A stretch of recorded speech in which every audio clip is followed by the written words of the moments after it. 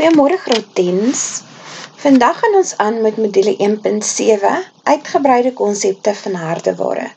So ons gaan bykie meer kyk na wat deelvorm van hardeware. Nou as ons net so vinnig deurkyk, hier is van die items waarna ons in detail gaan kyk.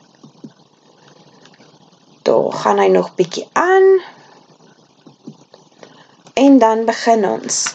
Nou ouwens onthou jou toevoer en afvoer. Onthou toevoer toestelle is dit wat jy gebruik om data in een rekenaar in te voer, terwyl afvoer toestelle gebruik word om data terug te kry vanaf die rekenaar nadat dit verwerk is in inlichting.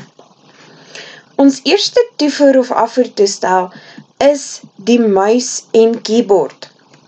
Goed, nou ons hierdie ken julle nou redelijk goed. En as ons nou kyk na hierdie twee standaard items, kan jy sien jou muis is daar. Nou, jou muis is redelijk ongecompliseerd. Julle weet nou in die tyd redelijk goed hoe een muis werk. En dan het jy natuurlijk jou keyboard.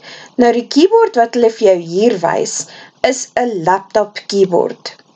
Jy sal sien, hy het sekere knoppies, Nou die rooi knopie wat hulle vir jou daar wees, is een weiserstokkie.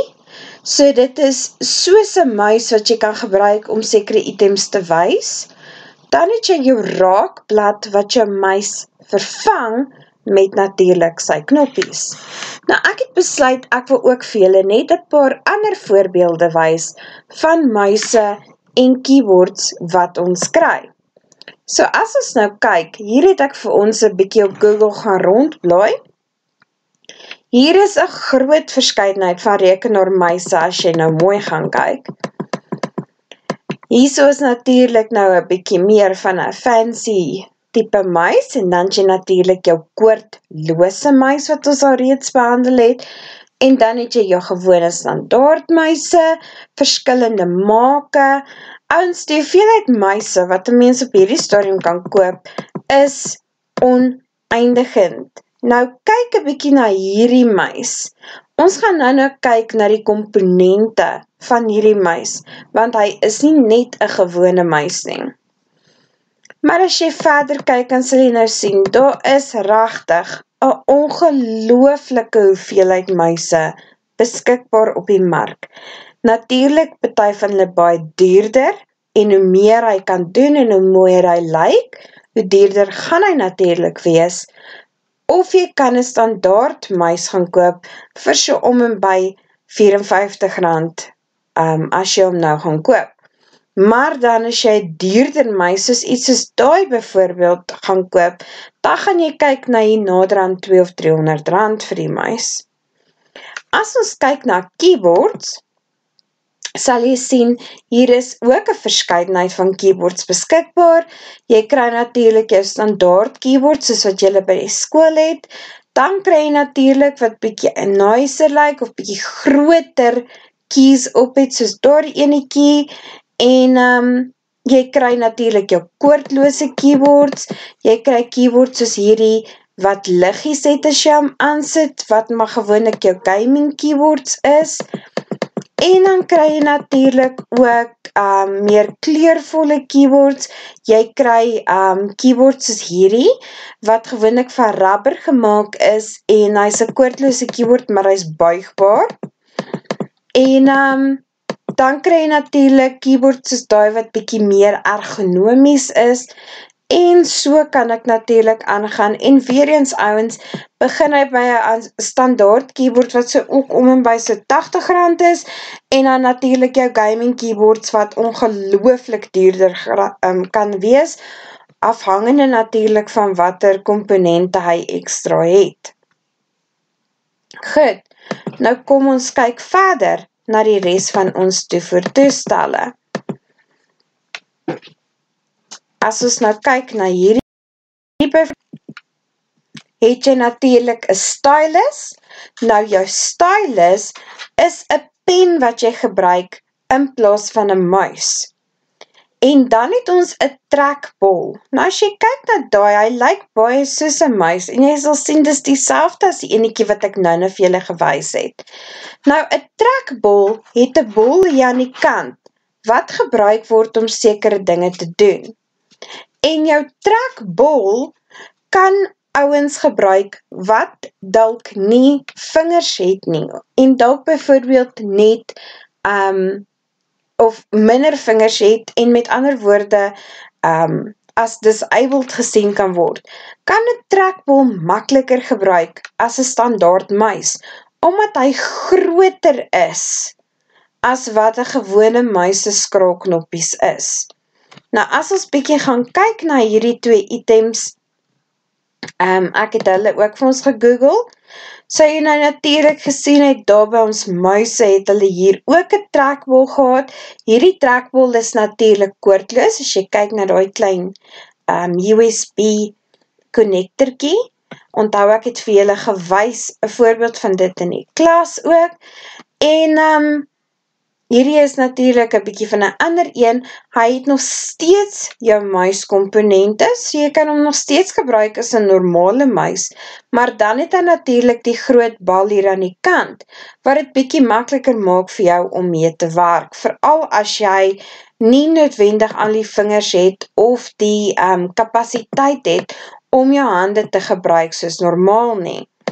Um jy kry dan natuurlik ook jou verskillende stylus tipes. Um jou stylus hang af van um waarvoor jy hom gaan gebruik. Baie mense gebruik dit om um te teken of as tekenaars. As jy nou kyk na hierdie prentjie wat hierdie ou geteken het, sal jy sien hy het natuurlik nou baie meer detail. As jy nou daar kyk, as wat jy ooit sal kan teken met 'n gewone muis. En dit is spesifiek hoekom mense 'n stylus pen gebruik. Omdat hy baie meer detail kan teken as wat jy met 'n gewone muis kan teken. Um baie van jou argitekte en tekenaars gebruik spesifiek stylusse um penne in plaas van om um die gewone muis te gebruik en dan het jy natuurlik as jy um na Edgars toe gaan en jy gaan koop vir jou dogklere, het hulle al reeds so stylus pad wat hulle gebruik. As jy op jou rekening koop, dan teken jy daar op die um op hierdie pad en jy het natuurlik nou nie meer 'n strokie waarop jy um jou handtekening maak nie, dis nou alles elektronies. So dis natuurlik 'n ander gebruik wat jy het vir so 'n stylus um pen en sy pad wat natuurlik saam met hom gekoop kan word. OK, nou as ons nou verder kyk na ons toevoer toestelle, dan kry ons natuurlik ook um toevoer toestelle soos 'n touchpad, 'n raak skerm en op hom het jy natuurlik nou verskillende gebare. Nou hierdie is julle nou redelik gewoond aan omdat julle baie met 'n touchscreen werk um op 'n gewone slimfoon ook. Jy kry jou knyp um aksie wat jy jou vingers na mekaar toe bring om in te zoom. Um jou strek aksie wat uitzoom. Ek sien my skyfies het hom bietjie omgeruil. Dan kan jy natuurlik goed roteer, jy kan hulle rondskuif, um jy kan vee met jou vinger om te beweeg van een na 'n volgende bladsy of goed uit te vee as dit geteken is of iets in daai lyn. Of um jy kan iets soos dit met jou vinger ook doen. Um en nie net die gewone standaard goedjies soos daai nie. Onthou ook wat ek julle laas geleer het ouens dat 'n raakskerm is nie slegs 'n toevoertoestel nie. Hy is ook 'n afvoertoestel want jy sit nie net inligting in wanneer jy met jou vingers op die skerm werk nie, maar dit verskyn ook op daardie selfde skerm waar hy vir jou jou afvoer ook teruggee. Goed. Nou as jy kyk na die sensors, ekskuus, van jou um verskillende stelle, kan jy natuurlik sekere goed gaan stel wanneer jy met 'n 'n toevoertoestel werk. Jy kan jou um versnellingsmeter, met ander woorde, hoe vinnig hy um, optel wat jy gebruik, kan jy gaan stel. Jy kan hom stel om fijner op te neem, um, stadiger op te neem, hoe ook al dit vir jou werk. Onthou ouwens, um, soos ouwer persone of mense wat um, uh, dalk uh, disablement het, gaan baie moendlik verkies om een stadiger bewegings te hee, as wat die persoon, um, normale persoon sal hee. Dan kan jy natuurlijk jou temperatuur stel, um, onthou, as jou temperatuur van jou um, hardeware warm word, dan kan jou hardeware beskorig.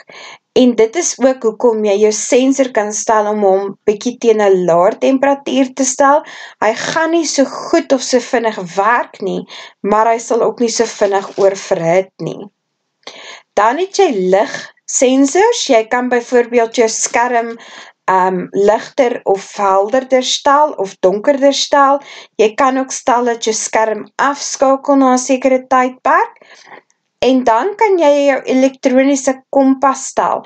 Jy kan stel na wat sy richting jou um, muis bijvoorbeeld sy pijlkie wees. So jy kan kies dat jou muis sy pijlkie aan die kant toe wees. Dis gewoonlik as sy ou links of rechts is, dan verkies hy om hom op een ander manier te gebruik. Dan het julle natuurlijk speletjie toever toestelle, nou dit ken julle baie goed. Hier is net een paar, um, jou eerste een is jou joystick. Um, dit gebruik jy maar gewoonlik as jy games soos vliegtuig games of car games of iets soos dit speel. Dan het jy jou gewone speletjie beheerder. Um, meeste van jou speletjies sin like maar so, jou Xbox, um, en jou Playstation sin lyk maar gewoon ek so, maar jy krij natuurlijk ook een hele verscheidenheid, en dan het jy natuurlijk um, jou stierwiel, nou ek het ook vir ons gekyk na paar van die speeliekie toestelle wat op buiten is, so as ons nou gaan kyk, na ons gaming hardware, um, ek het nou maar net ingegaan na computer gaming hardware toe, so hy wees vir jou al die verskillende komponente, onthou ek net dat computer gaming um, gebruik natuurlijk ook een beter graphics kaart, en dit gebruik ook baie keer um, duurder technologie, as wat jou standaard um, rekenaar sal gebruik, so baie van die ouwens sal bijvoorbeeld, as jy nou hier kyk, extra CD-boxe in hee, baie ouwens sal een extra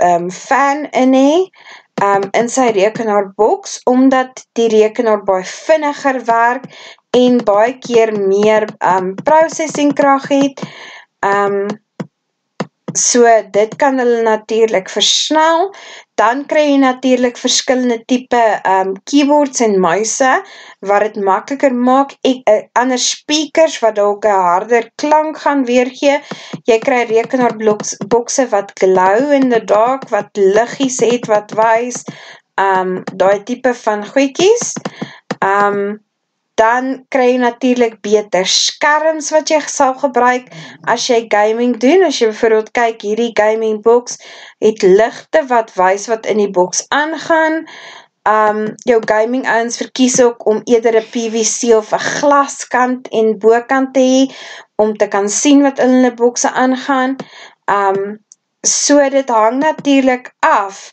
van wat jou kese is, baie ouwens gebruik meer as een skerm, as jy nou kyk hier onder hier, um, om mee te werk, as wat jy, jou standaard ou sal gebruik, as jy kyk na hierdie keyboard, sal jy sien hulle um, met liggies wat aangaan in die aande, so as jy kyk hier ook, sal jy sien hulle like helemaal anders, as wat die standaard rekenaar bijvoorbeeld sal like, um, daar ook bijvoorbeeld, jy kan gewoon ek jou liggies se kleren ook stel, daar is weer een met multiple screens. Um, nou, ons betuig van die ouwens doen dit al van schooltijd af. Um, ander ouwens doen dit eers in so'n mate wanneer hulle besluit om professional gamers te word. Um, maar meeste van julle ouwens, denk ek, het al van hierdie technologie al reeds in jou, um, op jou rekenaar in jou kamer, omdat jy daar van hou te game en dan um, hou van dit wat jy kan beskikbaar kry, natuurlijk dit eerder vir jou sal koop as enig iets anders as jy natuurlijk een verjaarsdag of ietsie soos dit het. Goed, so kom ons gaan nou weer terug. Dan die volgende toevoertoestel is natuurlijk een digitale camera. Nou jou digitale camera's kry jy ook in verskillende types, maak groot is. Jy het natuurlijk een webcamera gewoonlik in jou laptop al reeds ingebouw, um, wat ook een digitale camera is, en hoe duurder die camera, hoe gewoonlik hoe beter is sy specs wat saam met hom kom. Um, maar as ons net kyk na ons standaard inlichting, jy kan met die digitale camera kan jy jou foto's aflaai en dan kan jy hulle gaan manipuleer. Um, so jy kan hulle gaan mooier maak, jy kan rampies omsit, jy kan tekst insit en dan kan het natuurlijk nog steeds geprint word of jy kan besluit om het te e-mail, te whatsapp, um, te share het, wat ook al. Um, meeste van jou slimfone het al reeds een baie goeie gehalte uh, digitale camera. Meeste van die slimfone kom deeste uit met een beter camera as wat mense besit as hulle aparte camera gekoop het. En dan kan jy natuurlijk jou um, foto's dadelijk deel. Jy kan het stel dat jy foto's op foto's van um, Google automatisch backup. Onthou net om versichtig te wees wat sy type foto's jy neem en wat sy type foto's jy deel. Um, want as jy die foto's gedeel het op WhatsApp of op die internet, dan kan jy dit nie weer terugvat nie. Um, sodra foto op WhatsApp, op um, Instagram, op enige van die vorme van communicatie gedeel word, um, is hy al reeds daar buiten en is hy al reeds ivers gebackup, so hy kan weer aangestuur en gedeel word. En dan, um, die resolutie van die camera bepaal gewoonlik die kwaliteit van jou foto. Nou, ongelukkig hoor die kwaliteit en die resolutie, hoe groter spasie gaan dit opneem op jou memory card wanneer jy dit stoor, so wees maar versichtig as jy die hoer kwaliteit gebruik, um, dat jy weet dat jy genoeg um, stoorspasie beskikbaar het om dit te bare. Goed, dan kry ons natuurlijk verskillende type skandeerders. Nou, jou eerste type is een standaard skandeerder, dit noem ons een flat bed scanner, um, hy lyk gewoonlik so, daar is ook verskillende types, ek gaan nou vir julle wees, hy maak toe, jy sit jou foto daarop neer, of jou prentje daarop neer, en dan maak jy hom toe, en dan scan jy document in, um, groot nadeel van so flatbed scanner, plat blad scandeerder, is dat, um, jy net een document op beslag met ons kan, kan scandeer. So as jy jylle boek wil scan, dan gaan het jou redelijk lang vat, en dan krijg jy natuurlijk um, jou phone'se camera wat jy as scandeerder kan gebruik, wanneer jy vooral QR-codes wil lees, en dan weet jy natuurlijk een QR-code um, gebruik jy om meer inlichting te kry van door die item, of hy vat jou gewoonlik na een ander webadres toe, of na ander app toe wat jy kan aflaai. Um, dit kom baie keer saam met jou item uit, wanneer hulle nie te veel inlichting vir jou um, wil op um, aarde kopie sit nie, dan gee hulle vir jou QR code, want dan kan jy al jou inlichting kan jy dadelijk beskikbaar kry, of baie keer as jy item koop en jy wil die sachte ware van daar die item wil jy aflaai, gebruik hulle QR eh, scanners om seker te maak dat jy by die rechte sachte ware uitkom. Goed, kom ons gaan kyk na paar extra um, scanners wat natuurlijk beskikbaar is, as ons gaan gaan kyk.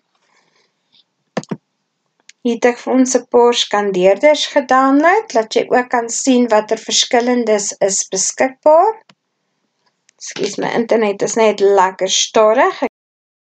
Ek het helemaal gelijktijdig op die internet speel. As jy nou hier so vinnig kyk, um, hier so het hulle verskillende scanners wat jy kan kry.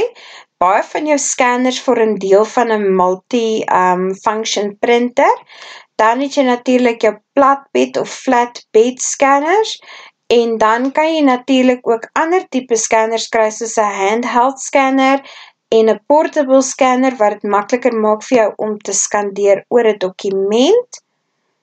Kyk, daai dink ek was veronderstel om deel te wees van 'n rekenaarscanner nie, maar nou ja. Ehm um, jy kry ook fingerprint scanners as jy biometriese um, sekuriteit gebruik. Um, daar's 'n portable scanner. Jy hou hom in jou hand en dan trek jy hom oor jou dokument en dan kan jy hom so inskandeer. Jy kry ook barcode scanners. Dis wat jy gewoonlik in die winkels gebruik om um jou inligting op te lei van 'n um barcode af. Hy lyk gewoonlik iets soos daai. Um en onthou 'n barcode scanner um kan niks anders doen nie. Hy kan net die pryse van die verskillende items kan hy scan. Um ek sien daar's apparently 'n movie met die naam Scanners. Dit lyk vir my dis 'n lekker thriller. Um dan het jy ook verskillende ander tipe scanners. Jy byvoorbeeld kyk na daai dis 'n 3D scanner. Daar's nog um handheld scanners, barcode scanners wat hulle gewoonlik in winkels gebruik.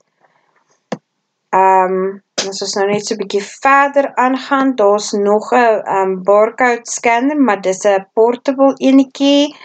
Um jy weet natuurlik jy kan jou slimfoon of jou selfoon of jou tablet ook gebruik om te scan. Um meeste van jou multifunksie drukkers het al reeds 'n scanner in.